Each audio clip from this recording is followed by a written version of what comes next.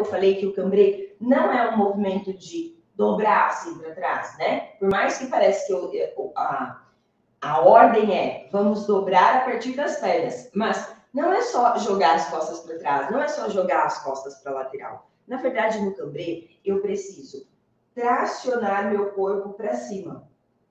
Essa tração é a primeira coisa que precisa acontecer se você não quer ter uma hérnia de disco fazendo cambrê. Sim, se você não quer comprimir o seu disco. Lembra que eu falei que a gente tem que fazer cambrê tentando preservar o espaço articular? É disso que eu estou falando. Eu vou crescer as minhas costas, tracionar tudo para cima e aí eu vou começar a ir para trás. E aí eu vou voltar e continuo tracionando tudo isso para cima. Eu sei que falando assim, para quem está começando, é meio estranho, né? Aí a gente quer tracionar tudo para cima, a gente puxa a ombro. Calma. Que, que você vai fazer para você entender esse movimento? Você vai pegar uma faixinha elástica ou uma calça de ginástica e você vai colocar assim, ó, nos ombros, como se fosse um, um chale. Sim? Coloquei lá, ó, em cima dos meus ombros, ok? E aí, o que, que a gente vai fazer? Eu vou vir aqui na barra. Vou tracionar essa faixinha aqui, ó, peguei aqui no meio mais ou menos, vou tracionar para baixo e segurar aqui na barra. Vou fazer um cambrê aqui, é, de frente para barra. Qual que é a questão? Eu não posso só dobrar. E aí eu quero que você dobre devagar, só para você sentir. Quando a gente dobra devagar, qual é a tensão que eu faço na faixa? Agora, quando eu penso em crescer, quando eu penso em empurrar essa faixa lá para a diagonal, então eu traciono ela aqui, empurro ela lá para cima, crescendo as costas, sem subir o ombro, sim? O ombro está lá, eu penso em tracionar todo o meu corpo para cima. E agora eu vou empurrar essa faixa para diagonal.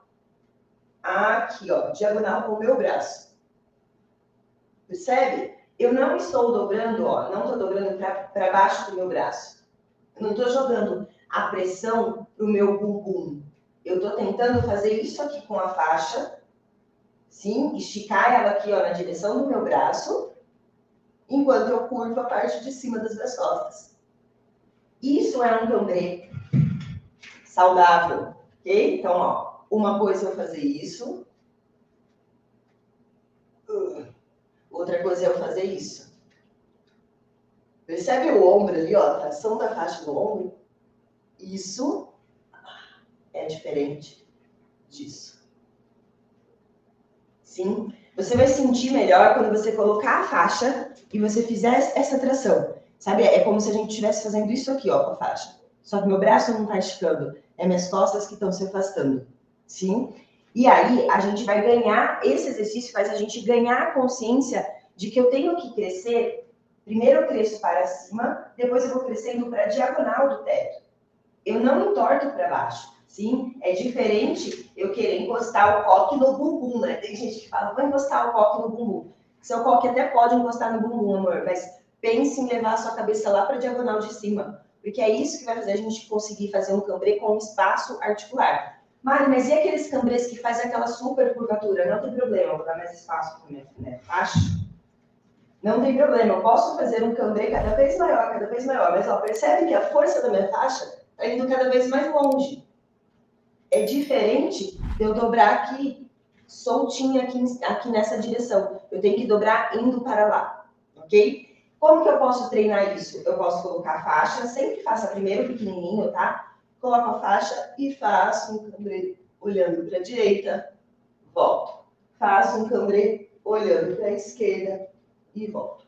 Verifique sempre se as suas pernas não estão se movendo para frente. Tá? Eu não posso fazer cambrê assim, né? Não, minhas pernas, tá vendo? Minhas pernas se moveram. Não. Eu tenho que dobrar a partir das pernas. É como se tivesse uma parede aqui e nada, nada muda ali nas minhas pernas. Só minhas costas que estão se dobrando, tá? E aí, depois que você fez pequenininho, umas três vezes cada lado, aí você faz um grandão. Vou, vou, vou, vou, vou, vou, vou, e volta, volta, volta, volta, volta, volta, volta. E pro outro lado, cabeça pro outro lado, cuidado para não girar o ombro, né, para não ficar torto. E aí, vou descendo, vou descendo, vou descendo. Sim? Quais são as regras para um cambrê perfeito, tá? Primeiro é preservar a sua coluna. Acho que de tudo que a gente pode fazer a gente busca fazer tudo certinho no balé, a gente tem que buscar isso mesmo, mas acima de tudo, a nossa saúde. Acima de tudo, eu respeitar o limite do meu corpo. Ah, eu quero fazer um cambrê cada vez maior. Tá, eu vou trabalhar para isso fora da minha sala de aula. Mas na minha aula, eu vou fazer dentro das minhas possibilidades, respeitando o limite do meu corpo. Porque senão eu vou me machucar e eu vou ter que parar de dançar por um tempo para me recuperar, se é que eu vou conseguir me recuperar. A gente está falando de coluna, tá bom? Então, o que, que a gente vai fazer aqui? Primeira coisa, todos os dias você pode fazer o primeiro exercício de mobilidade. Isso vai ajudar muito você ter mais saúde da coluna quando o assunto é balé. É, segunda coisa, ah, vou fazer o meu cambrê. Cara, tira um tempo para estudar o seu cambrê. A gente precisa entender que fazer balé depois de adulta, né, depois de adulto, a gente precisa de um tempo extra de estudo. As adolescentes lá de 15 anos, elas chegam pelo menos uma hora antes da escola, normalmente, né? A aluna chega uma hora antes, fica lá papeando, e nesse papeando, ela faz um treininho aqui, outro ali, ela tá tentando girar pirueta, ela tá tentando isso. A gente, como adulto, a gente não tem esse tempo, né? Eu não tenho tempo de vou fazer uma aula de uma hora e uma hora antes eu já estou disponível para treinar. Não, a gente tem pequenos blocos de tempo no nosso dia que dá para a gente incluir algumas coisas. Uma delas pode ser um treino para cambrê. Se você quer melhorar o seu cambrê, introduza um treinozinho no meio lá, no bloco de tempo que você tem. Ah, eu tenho, eu tenho alunas que acordam, né, às 5 da manhã, fazem parte do clube das 5, acorda, acorda às 5 da manhã, faz o primeiro treino delas, sim, e depois elas vão seguir a vida, seguir para o trabalho e tudo mais. Então, a gente só precisa ter a clareza de que se eu quero melhorar a minha dança, se eu quero dançar cada vez melhor, eu preciso estudar balé. Não é só fazer aula, porque só fazer aula eu estou só é, praticando balé. A gente precisa estudar balé. Como é que eu estudo balé? Eu tiro um horário para mim para entender um determinado movimento. Como que você pode estudar o cambrê? Primeira coisa, entendendo essa pressão que a gente faz de crescer as costas. Então, esse exercício que eu acabei de mostrar aqui com a faixa elástica, né? De segurar a faixa elástica e fazer a pressão, já vai te dar a clareza de qual é a força que eu tenho que fazer nas minhas costas para fazer um cambrê preservando a minha, a minha coluna. Segundo ponto, entender o que é que é certo e o que é que é errado num cambrê. Por exemplo, quando a gente faz lá o cambrê,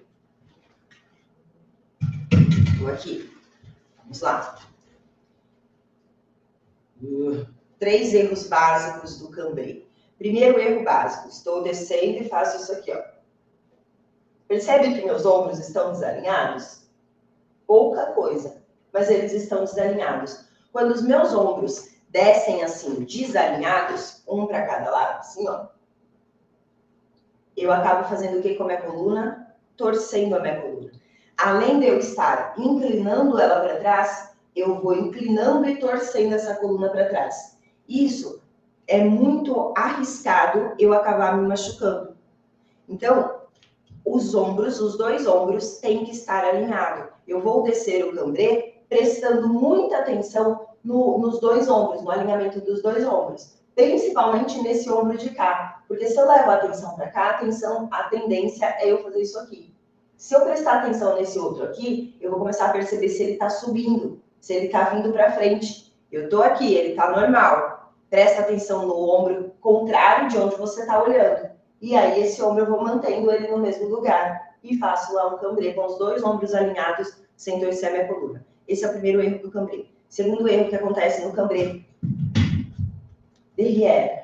Eu dobro a partir das pernas.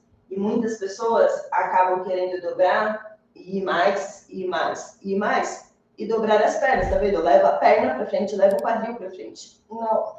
Isso comprime aqui, ó, a região lombar não, eu preciso manter as pernas. Imagina que tem uma parede na sua frente e que você não, não pode encostar nessa parede. E aqui eu vou dobrando para trás das minhas pernas. Sim? Terceiro erro, que é o que eu acabei de explicar, é a gente do, tentar dobrar para baixo. Não, eu não dobro para baixo. A gente dobra para a diagonal. Estou lá com a minha faixinha lá, segurei, coloquei ela lá nos ombros. Ao invés de eu dobrar aqui para baixo, eu vou empurrando lá para trás, sem mover as minhas pernas, sem mover as minhas pernas, sem mover as minhas pernas. E aí eu vou voltando. sim, sem subir os ombros.